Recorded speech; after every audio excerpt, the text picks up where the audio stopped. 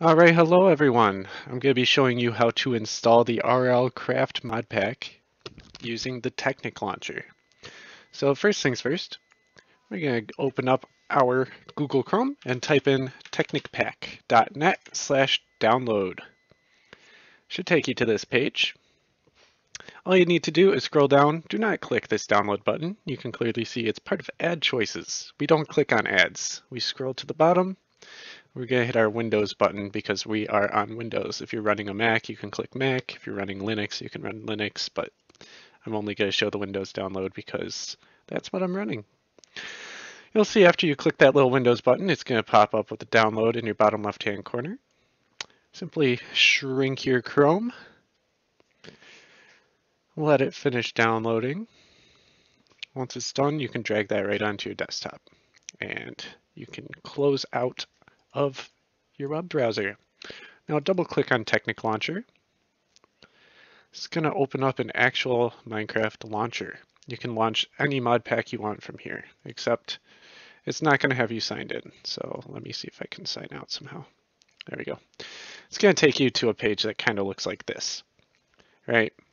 So you would type in your email here I'm not going to show you what my email is, and then you would type in your password, click remember this account so you don't have to go through the hassle again, and click login. It's going to take you to a page that looks like this. You need to click on the mod packs tab. Once you are in the mod packs tab, you'll see all of these different mod packs listed on the side, but none of these are what you want. You want to come in here and just type in Shiv with capital S you're going to see Shivaxi RL Craft pop up on top with a little image with a guy standing on a tree. That's the one that you want. All you have to do is click install and let it download for a little bit. And it looks like it finished up. Once it finishes, you should see that you have a delete pack option now and the install button turned into a play button. All you have to do is click play. It's going to load up your launcher for you. However, you might run into an issue after pressing play of not having enough RAM.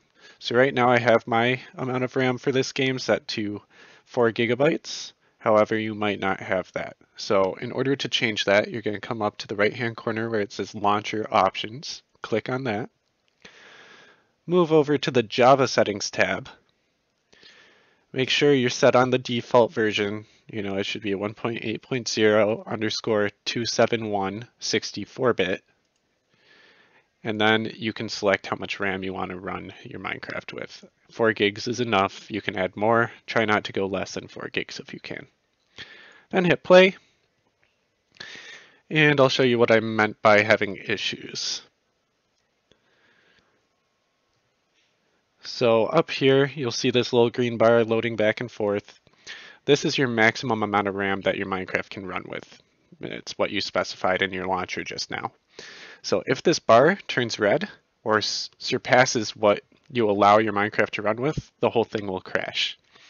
However, 4, 4 gigabytes or 4000 megabytes should be enough. Um, and you just let all this stuff load. It's loading up your mod packs, um, setting everything up. And once it's done, it'll launch RL Craft for you. Every time you launch RLCraft, it's going to have to go through this. It takes a little bit of time. Just try and be patient. And you'll pop up with a game like this, RLCraft. You can play single player and create your own world, just like a normal Minecraft, or you can join us by clicking Add Server. You know, type in whatever you want, RLCraft, um, and then the server address, mc.brycethompson.net just like the last server, except this time you're going to add a colon with the port 25566.